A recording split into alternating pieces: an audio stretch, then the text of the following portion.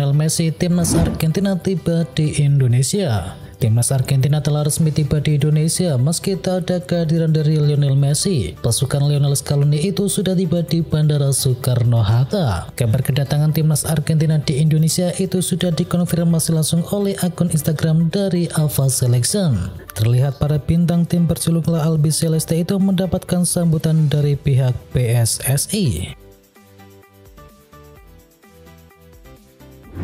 Trent Alexander-Arnold kini jadi nyawa permainan dari timnas Inggris. Trent Alexander-Arnold kini jadi motor dari permainan timnas Inggris. Bintang Liverpool tersebut tampil paling top dalam kemenangan telak atas Malta di kualifikasi Euro 2024. Trent Alexander-Arnold menjadi nyawa baru timnas Inggris besutan dari Gareth Southgate. Dimainkan sebagai gelandang tengah bersama Declan Rice dan juga Jordan Henderson. Alexander-Arnold yang posisinya aslinya adalah seorang back sayap, malah tampil menggila di laga melawan Malta. Secara keseluruhan, Inggris menang 4-0 atas Malta dengan Trent Alexander-Arnold dinobatkan sebagai man of the match pertandingan tersebut.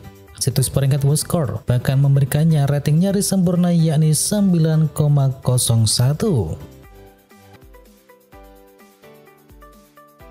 Jerman belum bisa membaik usai Piala Dunia. Jerman kalah 0-1 dari Polandia dalam laga uji coba, membuat mereka gagal menang di tiga laga terakhir mereka. Teman Cruyff belum menunjukkan sinyal bangkit usai performa mengecewakannya di ajang Piala Dunia kemarin. Hasil ini menambah buruk catatan mereka usai Piala Dunia yang baru bisa meraih satu kemenangan dalam empat laga terakhir.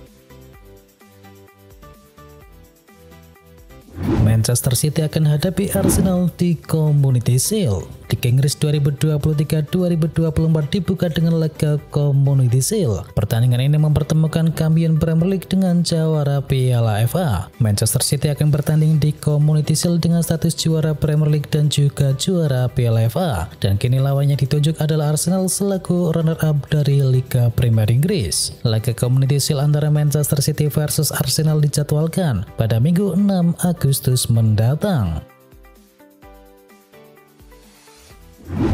Arsenal resmi lepas 13 pemain. Arsenal mengumumkan daftar pemain yang akan dilepas menjelang musim baru. Dengan sebanyak 13 pemain telah dikonfirmasi akan meninggalkan sekuat tim utama, serta tim U23 dan juga U18.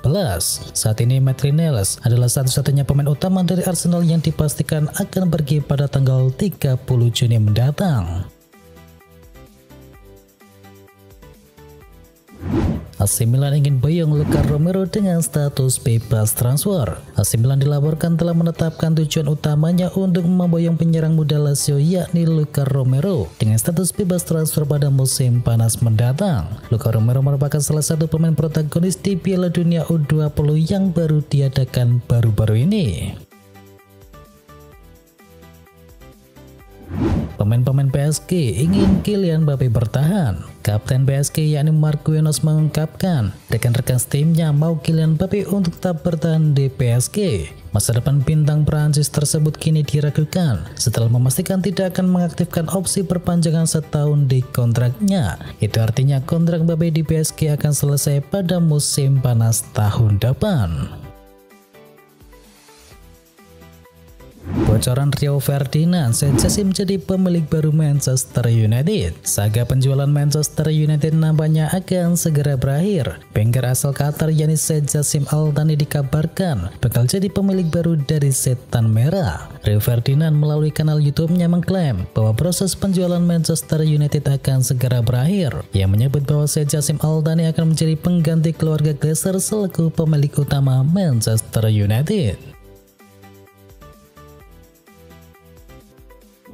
Manchester United masih pertahankan Mason Greenwood. Kasus dugaan pemerkosaan dan kekerasan tak membuat Mason Greenwood tersingkir dari sekuat Manchester United. Striker asal Inggris itu masih dipertahankan oleh Setan Merah. Dalam situs resminya Manchester United merilis daftar pemain yang dipertahankan jelang musim 2023-2024 bergulir dan nama Mason Greenwood muncul sebagai yang bertahan di Old Trafford. Mason Greenwood memang masih terikat kontrak di Manchester Manchester United. Pemain berusia 21 tahun itu masih punya kontrak sampai tahun 2025.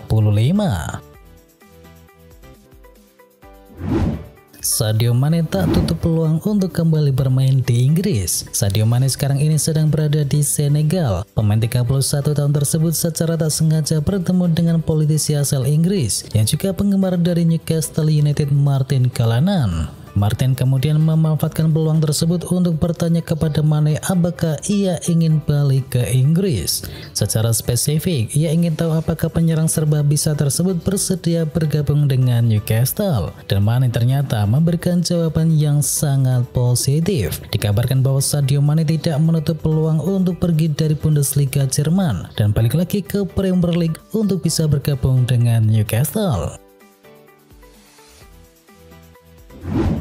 Sergio Ramos diklaim tolak tawaran Arab Saudi dan kembali ke Spanyol. Petualangan Sergio Ramos di PSG telah berakhir. Bek Spanyol tersebut dikabarkan mau pulang kampung dan berkarir di La Liga. Bek asal Spanyol itu dikabarkan mau pulang kampung dan berkarir di La Liga. Melansir Football Espanya, Sergio Ramos menolak tawaran yang datang dari Arab Saudi. Dia masih ingin bertahan di Eropa, khususnya di Spanyol. Ramos kini dikabarkan tertarik bermain di Sevilla. Los Palangana bukan klub yang asing bagi Ramos, mengingat dirinya tumbuh dan mengenyam pendidikan sepak bola di Akademi Sevilla. Barcelona naikkan tawaran untuk Ilkay Gunungan. Barcelona nampaknya semakin gencar mendekati Ilkay Gundogan lantaran kabar dari Inggris mengatakan bahwa mereka telah mengajukan tawaran yang lebih baik kepada sang gelandang untuk meninggalkan Manchester City di musim panas. Kabar yang sebelumnya beredar mengatakan bahwa Gundogan bakal menerima gaji sebesar 9 juta euro per tahun. Namun tawaran total mereka dikabarkan kini meningkat hingga 30 juta euro. Benjamin Mendy resmi dilepas Manchester City di akhir bulan. Manchester City akhirnya melepas Benjamin Mendy di musim panas. Kontrak bek asal Prancis tersebut tak akan diperpanjang, menyusul statusnya yang masih berurusan dengan hukum. Mirror melaporkan Manchester City telah mengkonfirmasi bahwa Mendy akan segera berstatus sebagai bebas transfer.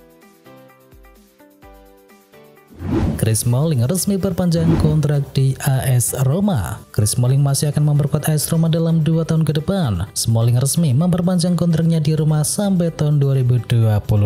Di sepanjang musim 2022-2023, Smalling masih mendapatkan kepercayaan dari Jose Mourinho untuk mengisi lini pertahanan Giallorossi. Bek berusia 33 tahun itu bermain selama lebih dari 4.000 menit di sepanjang musim lalu.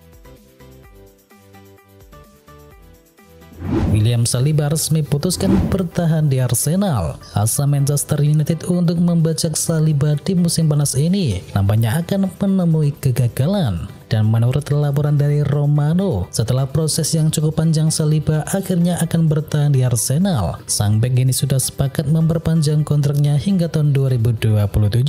Dalam kontraknya akan ada opsi perpanjangan satu tahun hingga tahun 2028.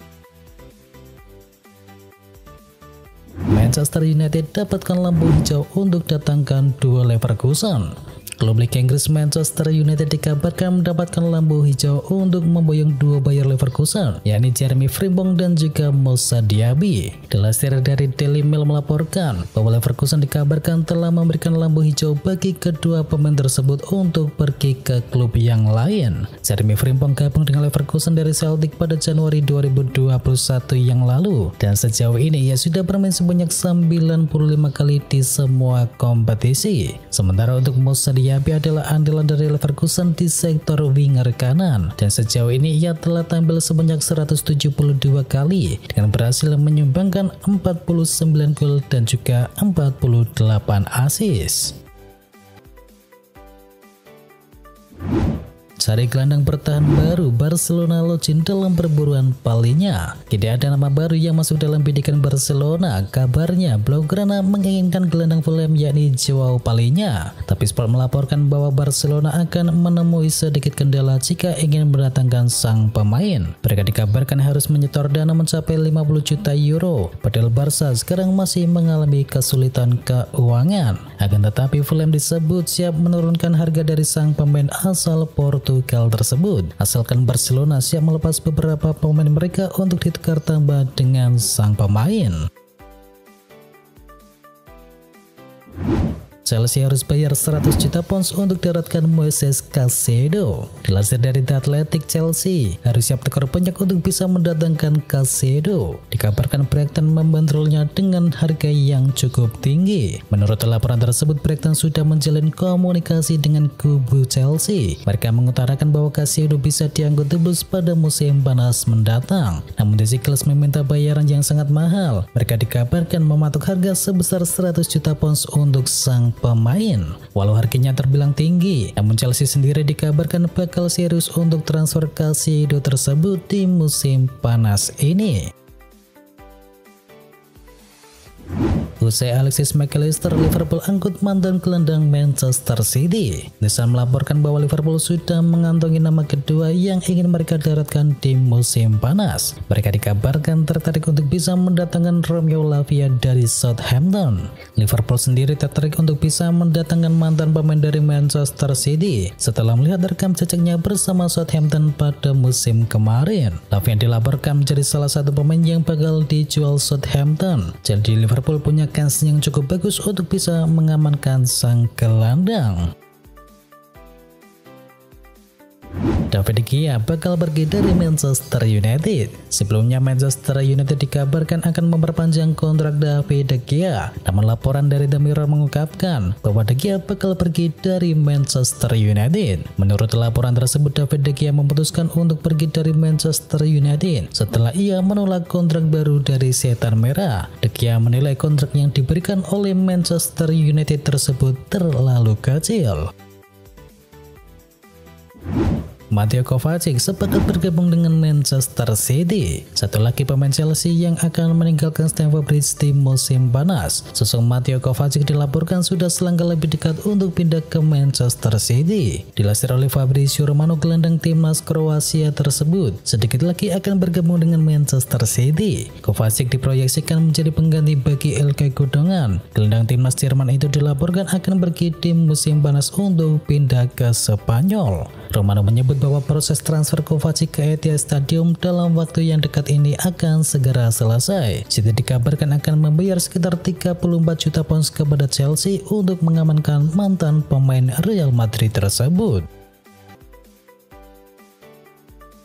Real Madrid segera resmikan pengganti Karim Benzema. Perburuan striker baru Real Madrid nampaknya akan segera selesai. Real Madrid dilaporkan akan menuntaskan perburuan striker baru mereka dan striker baru tersebut bukanlah Kylian Mbappe. Fabrizio Romano melaporkan bahwa Real Madrid akan menuntaskan transfer striker mereka pengganti Karim Benzema. Menurut laporan Romano, striker yang akan merapat ke Real Madrid adalah pember timnas Spanyol yakni Joselu. Real Madrid sudah mencapai kesepakatan pribadi dengan dengan sang striker pada 10 hari yang lalu dan saat ini mereka sedang mengurus administrasi transfernya dengan pihak E Spanyol.